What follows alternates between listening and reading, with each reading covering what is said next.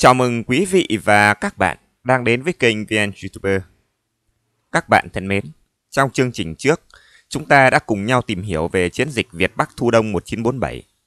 Đây là chiến dịch đầu tiên quân Pháp huy động chủ lực tấn công vào khu căn cứ địa Việt Bắc nhằm hai mục đích. Một là chụp bắt cơ quan đầu não kháng chiến và hai là tiêu diệt lực lượng quân sự chủ lực của Việt Nam Dân Chủ Cộng Hòa nhằm đưa nước Việt Nam quay lại làm nô lệ. Trong toàn bộ cuộc chiến tranh giữa Pháp và Việt Nam từ 1946 đến 1954, chiến dịch này là chiến dịch duy nhất quân Pháp chủ động.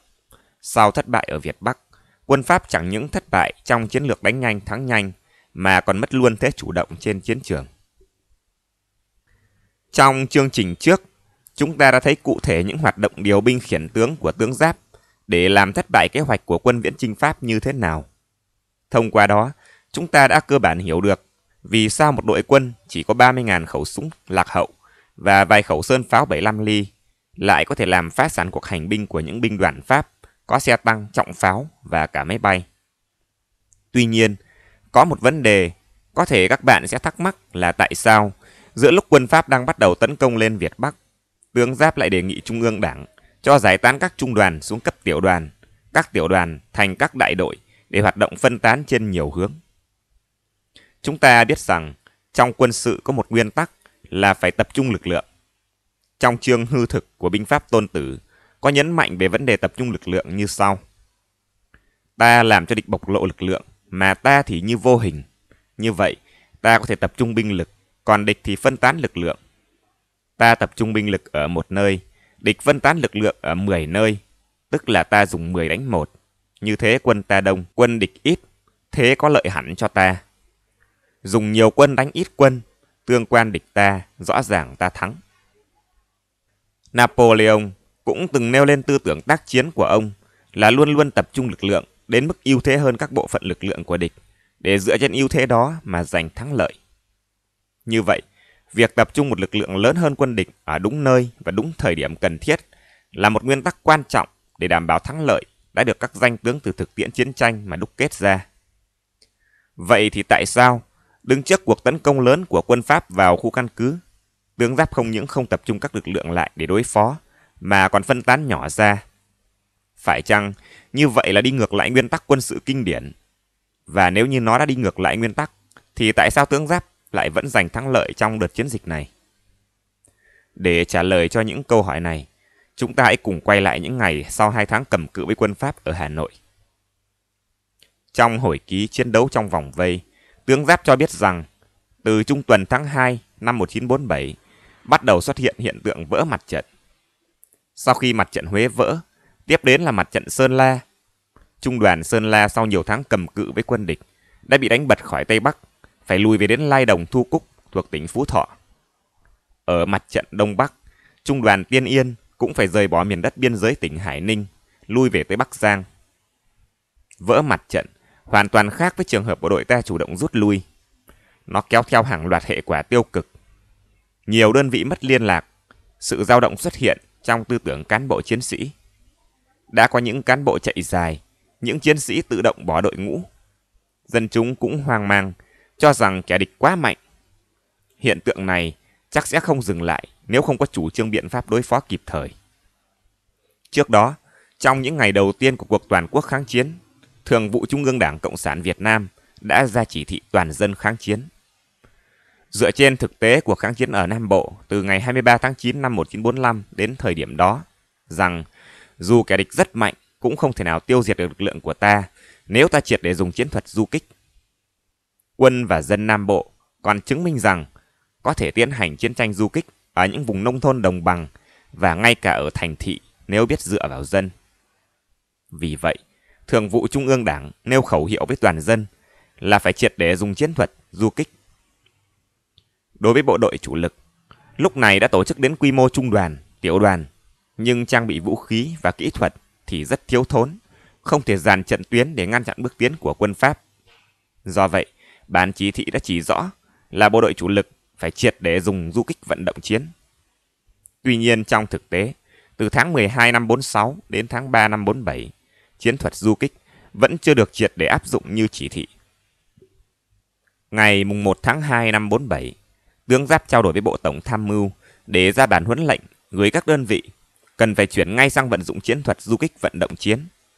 Bản huấn lệnh này đã tổng kết tình hình và chỉ rõ thực trạng rằng địch luôn luôn vận động, tập trung được lực lượng để tấn công ta nhiều mặt. Trái lại, bộ đội ta thì thường dàn thành trận địa, vận động rất nặng nề, do đó thường ở vào thế bị động và bỏ lỡ nhiều cơ hội để tiêu diệt địch. Ngày mùng 2 tháng 3 năm 47, quân Pháp có xe tăng, xe bọc thép và bộ binh cơ giới từ Hà Nội đánh ra hai hướng. Theo hướng Tây Nam đi Hà Đông Mai Lĩnh, rồi chọc lên Trúc Sơn, Chùa Trầm, Sơn Lộ, Quốc Oai, Chùa Thầy và hướng Tây Bắc từ Chèm theo đê sông Hồng, sông Đáy xuống cầu Phùng đánh vào Đan Phượng. Đài phát thanh của địch công khai nói cuộc hành binh này có nhiệm vụ chụp bắt cơ quan đầu não của Việt Minh được phát hiện ở trong vùng. Quả thật lúc này, có nhiều cơ quan trung ương đang đóng ở mấy huyện phía tây nam Hà Nội, nằm trên đường tiến quân của Pháp. Để bảo vệ các cơ quan trung ương, mấy tiểu đoàn vừa thành lập cùng với trung đoàn thủ đô mới rút ra đều kéo theo bờ đê hoặc bố trí sau lũy cha làng sẵn sàng chiến đấu. Tướng Giáp nhận định, cuộc hành binh của Pháp trên mặt trận Hà Nội càng chứng tỏ bộ đội ta chưa đủ sức ngăn chặn và đánh bại những mũi dùi tiến công của địch. Cách dàn trận địa, lập phòng tuyến, an ngữ chờ địch tới, bám đất, hoàn toàn không thể ứng phó với những cuộc hành quân mau lẹ, linh hoạt. Hết đánh bao vây lại đánh vu hồi của địch, dẫn tới vỡ mặt trận, gây cho bộ đội rất nhiều khó khăn. Để thay đổi tình thế, ngày 6 tháng 3 năm 47, tướng Giáp viết bản huấn lệnh. Sự cần thiết phải chuyển sang đánh du kích vận động chiến. Đây là huấn lệnh thứ hai về cùng một vấn đề trong vòng không đầy năm tuần lễ. Huấn lệnh nhắc lại rằng ở nhiều nơi, bộ đội vẫn áp dụng cách dàn trận địa đánh nhau với quân địch trong những điều kiện vô cùng bất lợi. Bản huấn lệnh ngày 6 tháng 3 nhấn mạnh phải tập trung bộ đội, củng cố tinh thần bộ đội, dùng lối hành binh rất nhanh chóng, rất bí mật mà đánh mạnh vào những chỗ địch tương đối yếu hay mới chiếm đóng, chưa củng cố vị trí. Sau đó, lập tức rút lực lượng đi đánh nơi khác. Làm như vậy thì có nơi phải bỏ đất, không phải đâu cũng dàn trận mà giữ. Sau bản huấn lệnh này, hiện tượng vỡ mặt trận chấm dứt trong tháng 3 năm 47, bởi vì bộ đội Việt Nam không còn dàn trận địa để ngăn chặn các cuộc tiến công của Pháp nữa. Không chỉ phê phán hình thức dàn trận địa, tướng Giáp còn hiểu nguyên nhân sâu xa vì sao lại có hình thức này. Đại tướng viết trong hồi ký chiến đấu trong vòng vây rằng hình thức dàn trận địa trong thời gian đầu toàn quốc kháng chiến cũng có lý do của nó. Đó là lúc quân địch tập trung ở những thành phố được tung ra để chiếm đất, mở rộng phạm vi kiểm soát. Bộ đội ta đã được tổ chức thành những trung đoàn. Họ không thể gặp địch mà không đánh để giữ đất, để bảo vệ dân. Do đó, cách dàn trận địa ngăn chặn địch tự nhiên hình thành. Mặc dù chiến đấu dũng cảm, nhưng bộ đội ta với những khẩu súng trường rất ít đạn, những trái lựu đạn do ta sản xuất và những thanh mã tấu không đủ sức ngăn bước tiến của xe tăng. Mặt trận vỡ vì những người bảo vệ trận địa không thấy hết tình hình kịp thời thay đổi cách đánh. Bỏ hình thức dàn trận địa, chuyển sang du kích vận động chiến cũng không phải dễ dàng. Đó là cả một quá trình tìm tòi và thử nghiệm, mà phải trả giá bằng máu. Trong tháng 3 năm 47, bộ đội chủ lực tổ chức mấy trận đánh vận động lớn. Cụ thể là, sau khi buộc phải rút khỏi liên khu 1, Bộ Chỉ huy Hà Nội muốn có một chiến thắng vang dội, cho nên đêm 20 tháng 3 đã sử dụng lực lượng hỗn hợp tương đương với một trung đoàn đánh vào một nơi quân Pháp chiếm đóng ở thị xã Hà Đông. Với quyết tâm chiến thắng, Bộ Chỉ huy Hà Nội tung vào trận hầu hết các cán bộ. Cán bộ trung đoàn xuống chỉ huy tiểu đoàn, cán bộ tiểu đoàn chỉ huy đại đội, cán bộ đại đội chỉ huy trung đội, còn cán bộ tiểu đội thì làm nhiệm vụ chiến sĩ. Mặc dù quân Pháp bị đánh bất ngờ, nhiều lính còn đang mặc quần đùi, nhưng dựa vào công sự và hỏa lực mạnh, quân Pháp dần dần chặn được đà tiến công. Đến mở sáng, bộ đội Việt Nam phải rút. Thương vong của hai bên tương đương nhau, nhưng phía Việt Nam bị thiệt hại nhiều cán bộ và mất gần 100 khẩu súng các loại. Sau trận đánh này, tướng Giáp nhận xét rằng chủ nghĩa anh hùng yêu nước, tự nó không đủ để làm nên chiến thắng. Tôi có ấn tượng mạnh rằng với trình độ trang bị kỹ thuật hiện thời, bộ đội ta chưa thể đánh địch ở quy mô trung đoàn. Trong khi đó cùng thời gian này, một tiểu đoàn của trung đoàn thủ đô đã chặn đánh địch tốt ở cầu đạm Trương Mỹ Hà Đông. Các bạn thân mến, như vậy, hiện tượng vỡ mặt trận vì dàn trận chống địch và trận tập kích quân Pháp ở thị xã Hà Đông đêm 20 tháng 3 năm 47 với nhiều thiệt hại đã đưa đến đánh giá của tướng Giáp rằng hình thức dàn trận và tác chiến cấp trung đoàn là chưa phù hợp với khả năng trang bị của bộ đội ta khi đó. Đây là cơ sở thứ nhất để tướng Giáp không lựa chọn tập trung quân chống lại cuộc tấn công lên Việt Bắc của quân Pháp sau này. Bởi vì ông biết nếu tập trung quân lại, dù là dàn trận địa phòng ngự hay là tập kích đánh vận động với quân Pháp, quân ta đều ở thế bất lợi vì quá yếu kém về trang bị. Nhưng nếu không dàn trận, không sử dụng những lực lượng đến cấp trung đoàn, thì phải làm thế nào để đối chọi với quân Pháp?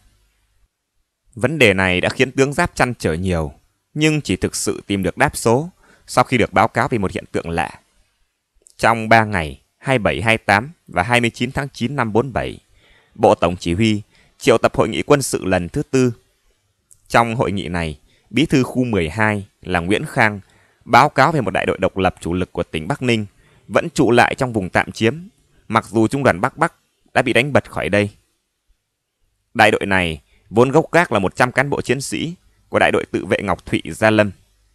Tỉnh Bắc Ninh đã bổ sung vào đây một trung đội tự vệ của thị xã Bắc Ninh và gần 100 du kích tuyển từ các xã. Đại đội được phối thuộc chiến đấu với một tiểu đoàn chủ lực của trung đoàn Bắc Bắc. Khi Pháp tiến công lớn, tiểu đoàn trưởng lệnh cho đại đội này rút lui, nhưng người liên lạc mang lệnh cho đại đội bị thương, nên đơn vị mất liên lạc với tiểu đoàn và nằm lọt lại giữa phòng vây. Trung đoàn Bắc Bắc tưởng đại đội này đã bị tiêu diệt, nhưng ít lâu sau nhận được tin họ vẫn tồn tại và tiếp tục chiến đấu trong lòng địch. Trung đoàn ra lệnh cho đại đội rút lui, nhưng cả đơn vị, từ cán bộ đến chiến sĩ, đều xin ở lại tiếp tục chiến đấu để giữ gìn phong trào. Họ chắc chắn với cấp trên là địch không thể tiêu diệt mình. Dân quân du kích và nhân dân các huyện phía Nam Bắc Ninh cũng nhất trí đề nghị tỉnh cho đại đội ở lại và hứa sẽ chăm lo về đời sống cho các chiến sĩ. Trong hồi ký chiến đấu trong vòng vây, tướng Giáp viết Đại đội này tồn tại vì đã bám chắc vào dân, dựa vào những làng chiến đấu, khi tập trung khi phân tán thành từng trung đội tiểu đội, chiến đấu với quân địch. Kẻ địch biết một bộ phận quân ta còn ở lại, giáo giết lùng sục, tìm mọi cách để tiêu diệt hoặc đẩy ta ra ngoài, nhưng chúng đã không làm được việc đó. Với đại đội này, phong trào chiến tranh du kích không những được duy trì mà còn phát triển. Những toán quân địch hành quân lẻ bị tiêu diệt. Chính quyền địch ở nhiều thôn xã e sợ bộ đội và du kích. Nhiều tên tề ác bị trừ khử. Số khá đông trở thành tề hai mặt, bề ngoài nhận làm việc cho địch, nhưng bên trong vẫn chịu sự chi phối, điều khiển của ta. Nhờ có đại đội này, bộ đội chủ lực của tỉnh lại có điều kiện thuận lợi vào ra vùng tạm chiếm, tổ chức những trận tập kích phục kích ở sâu trong lòng địch. Trên đường trở về Việt Bắc, sau chuyến về khu 12 công tác, tướng Giáp suy nghĩ nhiều về thực tế chiến đấu của đại đội nói trên. Ông nhớ lại, từ những ngày chống Nhật ở Cao Bắc Lạng, ông đã nhận thấy đơn vị trung đội rất thích hợp với công tác vận động vũ trang tuyên truyền. Nhưng phải là đơn vị đại đội mới đủ sức mạnh để tồn tại và tiến hành những hoạt động quân sự có hiệu quả trong vùng địch kiểm soát. Vừa hay, hội nghị quân sự lần thứ tư đã có quyết định để lại đơn vị đại đội hoạt động ở vùng sau lưng địch. Như vậy, thực tế chiến đấu của đại đội độc lập ở Bắc Ninh đã chứng tỏ sự chính xác của quyết định để lại đơn vị cấp đại đội hoạt động địch hậu. Vấn đề còn lại khiến tướng Giáp băn khoăn là sử dụng những đơn vị chủ lực ở quy mô nào là thích hợp nếu địch tấn công lên Việt Bắc. Cuối tháng 8 năm 47, chính phủ Việt Nam Dân Chủ Cộng Hòa đã ban hành sắc lệnh tổ chức đại đoàn độc lập trực thuộc Bộ Tổng Chỉ huy. Nhưng trên đường từ Bắc Ninh về Việt Bắc, Đại tướng Võ Nguyên Giáp lóe lên một suy nghĩ rằng muốn đưa cuộc kháng chiến tiến lên vững chắc chưa phải là lúc tập trung bộ đội thành đại đoàn, chuẩn bị những trận đánh lớn, mà phải có một quá trình rèn luyện thích hợp cho bộ đội ta từ thấp đến cao, một quá trình kiên nhẫn lâu dài. Tướng Giáp viết Những sự kiện lần lượt hiện lên trong óc tôi. Mặt trận Huế vỡ, trận đánh trung đoàn vào thị xã Hà Đông không thành công, sự tồn tại của đại đội nghĩa quân giữa địch hậu Bắc Ninh, vân vân đều chứng minh việc cần làm ngay chưa phải là tập trung bộ đội để xây dựng đại đoàn, mà ngược lại phải mạnh dạn phân tán một bộ phận bộ đội thành những đại đội đi sâu vào địch hậu để phát động chiến tranh du kích. Bộ đội chủ lực của ta thì cần được rèn luyện tác chiến ở quy mô tiểu đoàn rồi trung đoàn trước khi tác chiến ở quy mô lớn hơn. Ngay sau đó, tướng Giáp đề nghị Chủ tịch Hồ Chí Minh và Thường vụ Trung ương Đảng cho hoãn việc thành lập đại đoàn, đồng thời nêu công thức đại đội độc lập, tiểu đoàn tập trung. Có nghĩa là phân tán bộ đội chủ lực thành các đại đội độc lập để đưa vào hoạt động trong vùng địch tạm chiếm. Lực lượng chủ lực trực thuộc các khu và bộ tổng chỉ huy thì chỉ biên chế đến cấp tiểu đoàn. Đề nghị này nhanh chóng được Bác Hồ và Thường vụ Trung ương nhất trí. Tổng bí thư Trường Trinh đồng ý là từ khu 4 trở ra có thể đưa 1 phần 3 bộ đội chủ lực phân tán thành đại đội độc lập về địa phương. Ở các khu, mỗi trung đoàn chỉ giữ lại bộ chỉ huy trung đoàn và một tiểu đoàn tập trung. Nhận xét về đề nghị của tướng Giáp, Tổng bí thư Trường Trinh nói Bây giờ đã hiểu vì sao bộ đội cứ thích dàn trận đông người. Với đại đội độc lập, tiểu đoàn tập trung, thì toàn quân nhất định phải dùng du kích và du kích vận động chiến. Và đến ngày 18 tháng 10 năm 1947, tướng Giáp gửi mệnh lệnh cho khu 1, yêu cầu tất cả các trung đoàn chỉ giữ lại bộ chỉ huy và một tiểu đoàn tập trung. Các tiểu đoàn khác giải thể thành đại đội, đưa các đại đội về các huyện được chỉ ra trong lệnh. Mệnh lệnh này yêu cầu phải hoàn thành xong trước ngày 16 tháng 11 năm 47 và báo cáo về bộ. Như vậy là giữa lúc quân Pháp đang tấn công lên Việt Bắc thì tướng Giáp lại phân tán lực lượng chủ lực ở Việt Bắc đi nhiều nơi. Căn cứ trên những sự kiện đã trình bày bên trên, chúng ta có thể hiểu quyết định phân tán lực lượng này ngoài tác dụng rèn luyện trình độ tác chiến cho bộ đội, còn để buộc các đơn vị phải tích cực sáng tạo trong chiến thuật du kích vận động chiến khi đã không còn lực lượng đông cấp trung đoàn để dàn trận.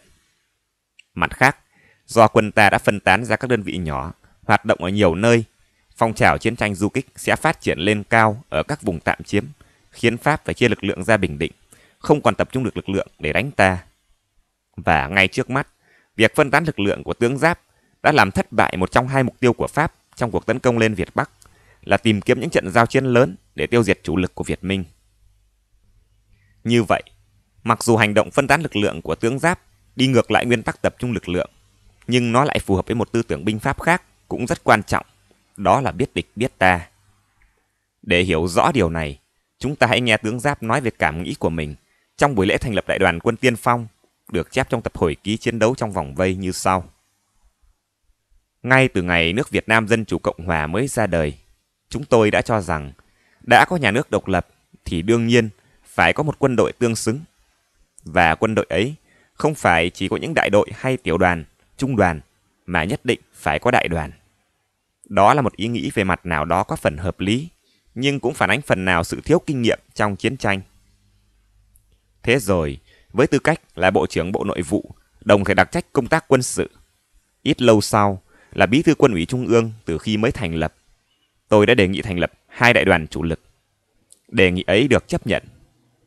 Đến khi tình hình đất nước diễn ra khẩn trương qua các cuộc xung đột lớn, đầu tiên với quân Pháp ở Lạng Sơn hay Hải Phòng, thì thấy rõ ngay là quân ta không có trình độ tác chiến với đơn vị đại đoàn. Kháng chiến toàn quốc bùng nổ, hai đại đoàn đầu tiên đã được nhập vào hai quân khu. Lúc bấy giờ quân đội ta chỉ còn gồm những trung đoàn là đơn vị cao nhất. Trải qua các cuộc chiến đấu trong và sau những ngày toàn quốc kháng chiến, trong các trận đánh ở thành phố và các cuộc chiến đấu tiếp theo, qua thực tiễn lại thấy bộ đội ta vẫn chưa có khả năng tác chiến thắng lợi với đơn vị cấp trung đoàn. Do phát hiện thực tế diễn ra trên chiến trường, tôi đã đề nghị và được Trung ương chấp nhận là trước mắt còn phải lùi một bước nữa về tổ chức bộ đội. Kiên quyết áp dụng rộng rãi công thức đại đội độc lập, tiểu đoàn tập trung. Với hình thức thích hợp ấy, trong một thời gian không lâu, bộ đội ta đã phát huy tác dụng to lớn. Các đại đội và tiểu đoàn không những đã dạn dày kinh nghiệm chiến đấu, mạnh lên về vũ khí và phương tiện chiến tranh cướp được từ tay địch, mà còn gây dựng lại chính quyền cơ sở, phát động chiến tranh du kích rộng rãi, đưa đến sự ra đời của đông đảo dân quân du kích. Những trung đội và đại đội địa phương được thành lập, dần dần có khả năng hoàn toàn thay thế vai trò của các đại đội độc lập. Tình hình đó đã đánh dấu một bước trưởng thành vượt bậc của ba thứ quân và đến lúc đó đã cho phép rút các đại đội độc lập tập trung lại thành các tiểu đoàn. Cùng thời gian đó, các tiểu đoàn đã được tôi luyện và trưởng thành trong những trận đánh bằng tiểu đoàn, rồi nhiều tiểu đoàn, bằng trung đoàn hay trung đoàn tăng cường trong hàng loạt chiến dịch nhỏ.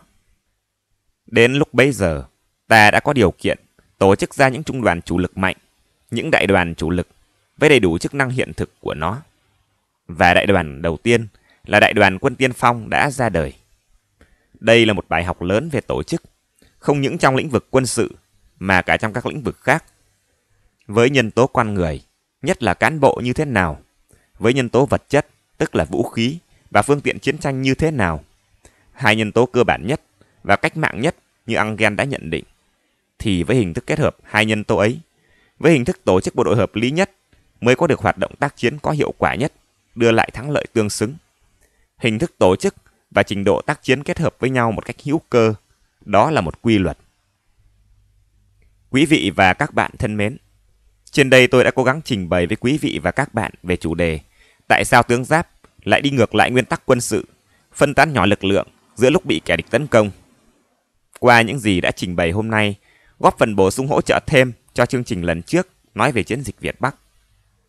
Có thấu hiểu được khả năng và trình độ của bộ đội ta khi đó mới thấy hết tầm vóc ý nghĩa của chiến dịch Việt Bắc. Cũng thông qua đây, chúng ta mới nhìn thấy rõ thiên tài quân sự trong đại tướng Võ Nguyên Giáp. Một người không xuất thân từ trường lớp quân sự, nhưng đã gây dựng chỉ huy một đội quân gồm những nông dân, công nhân và học sinh mặc áo lính, mà đánh bại được quân viễn chinh Pháp, rồi sau này là quân viễn chinh Mỹ.